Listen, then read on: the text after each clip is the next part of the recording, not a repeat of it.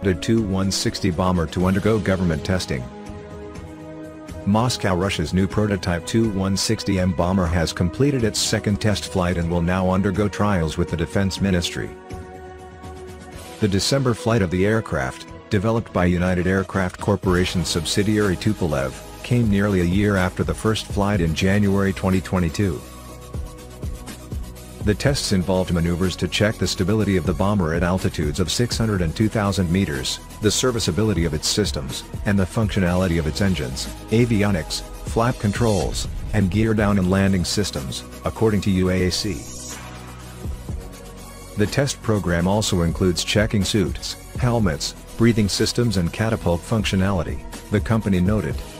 With the completion of the factory testing program, the company delivered the aircraft to the ministry on December 30 for a second stage of tests. During that stage, officials will confirm the company met the aircraft requirements. Pilots will perform tests that simulate long-range flight and combat, while also checking capabilities at low altitude. The tests are expected to last up to three years, according to Vladimir Rigmant, a former assistant to the general director of Tupolev. Rigmant addressed the process in a speech last month at the Tupolev Museum, where he currently serves as director. The government expects the Tu-160M to enter service in the 2024 to 2025 timeframe. During the testing process, the bomber will fly in various directions over Russia and international waters, with some events simulating an approach to North America, Rigmant added. Modernized systems and equipment make up 80% of the Tu-160M, according to the General Director of UAC, Yuri Slyusar.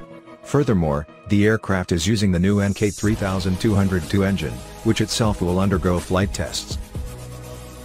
The aircraft is also expected to carry the latest Russian-made hypersonic weapons. According to Rigmant, several missile launches would need to first successfully hit targets at the Saray test range in Kazakhstan or the Pemboy test range in the Arctic region.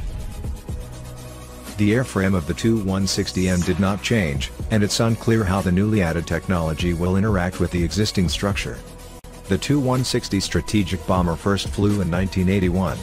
In 2015, the Defense Ministry announced the launch of a program to create a new, modified version, dubbed Tu-160M2, with plans to make 50 upgraded bombers.